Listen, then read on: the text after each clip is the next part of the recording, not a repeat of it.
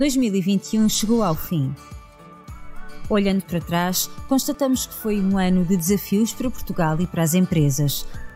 A pandemia continuou a marcar as nossas vidas, mas houve uma entidade que, presencialmente e à distância, esteve sempre ao lado das empresas.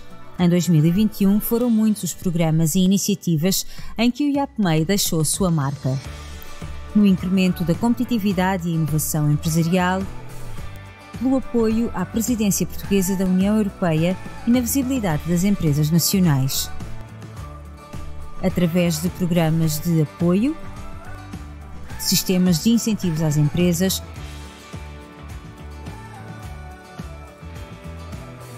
Programa Apoiar, linha de apoio à tesouraria micro e pequenas empresas, compensação do salário mínimo nacional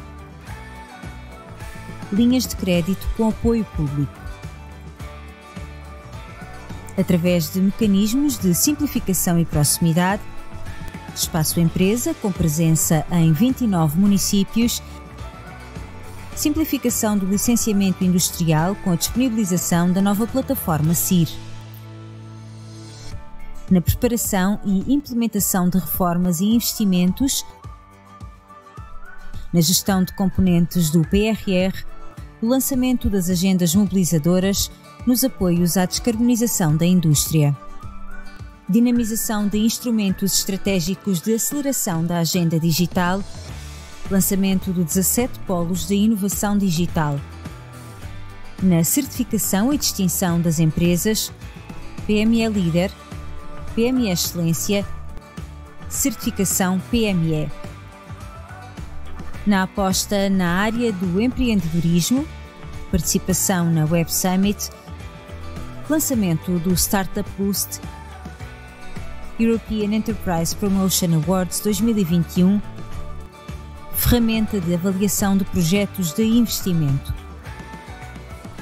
Na criação de conteúdos e iniciativas de capacitação, lançamento da Academia PME Digital, capacitação empresarial webinars temáticos,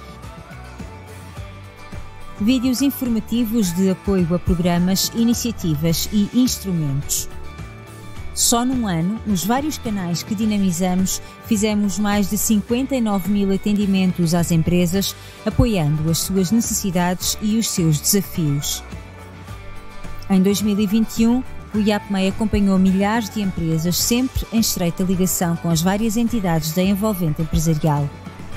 Em 2022, vamos continuar a avançar juntos.